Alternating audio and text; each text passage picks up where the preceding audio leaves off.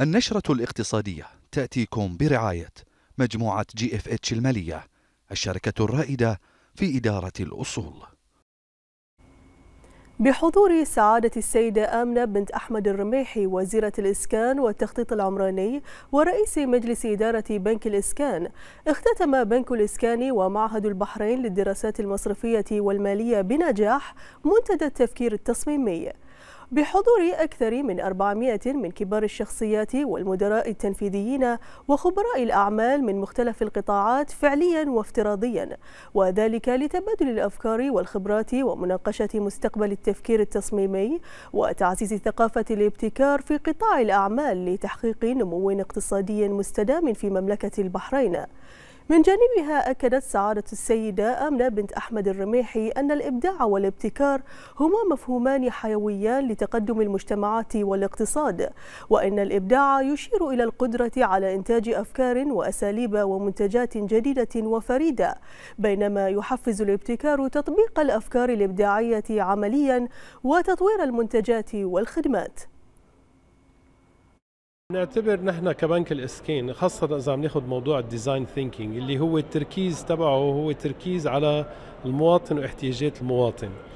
إذا بناخذ الحديث اللي قالته سعادة الوزيرة آه، بالعمل بين وزارة الإسكان وبنك الإسكان ساعة اللي صار إعادة آه، هيكلة القروض الإسكانية واللي صار إطلاقها بسنة 2022 بأوغست الحمد لله كان الإقبال لدرجة مهم أنه كنا عادة كبنك الإسكان نصرف بحدود ال 25 ل 30 مليون دينار سنويا.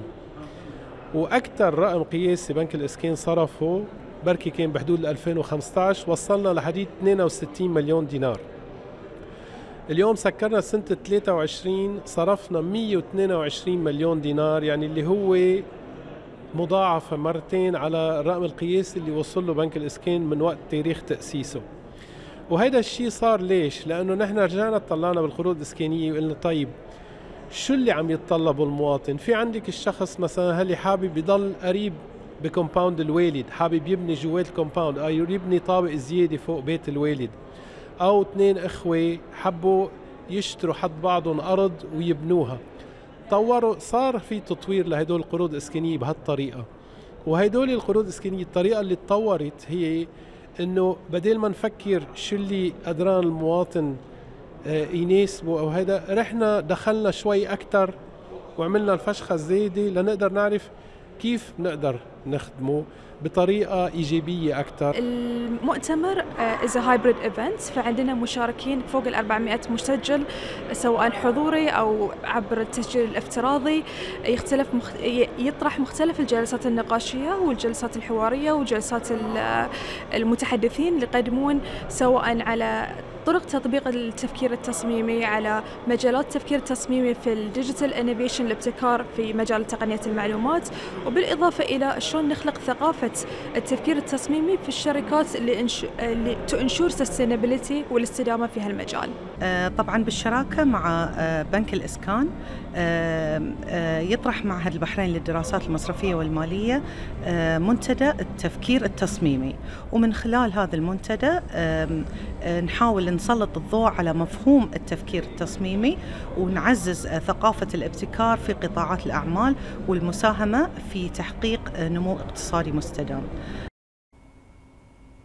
استضافت مملكة البحرين مؤخرا اجتماعات اللجنة العليا للشراكة الصناعية التكاملية لتنمية اقتصادية مستدامة والتي نتج عنها توقيع مجموعة من الاتفاقيات بين الدول الأعضاء في الشراكة. منها توقيع مذكرة تفاهم حول التعاون في برنامج المحتوى المحلي بين وزارة الصناعة والتجارة في مملكة البحرين ووزارة الصناعة والتكنولوجيا المتقدمة في دولة الإمارات العربية المتحدة.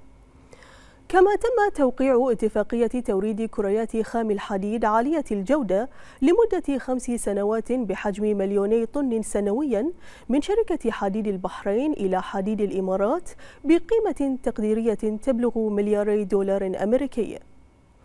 بالإضافة إلى مذكرة تفاهم لتوريد مادة فلورايد الألمنيوم ALF3 بحجم 13 ألف طن سنويا من شركة مناجم الفوسفات الأردنية إلى شركة ألمنيوم البحرين ألبا بقيمة تقديرية تبلغ 20 مليون دولار أمريكي. ومذكرة تفاهم لتوريد مادة السيليكا بحجم 52 إلى 66 ألف طن متري من مجموعة المناصير الأردنية إلى شركة ألمنيوم البحرين ألبا بقيمة تقديرية تتراوح ما بين 52 إلى 66 مليون دولار أمريكي.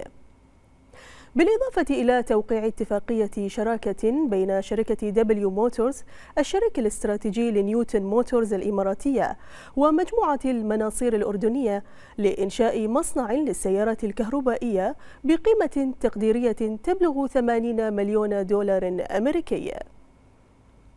والآن نترككم مع أداء الأسواق المالية الخليجية.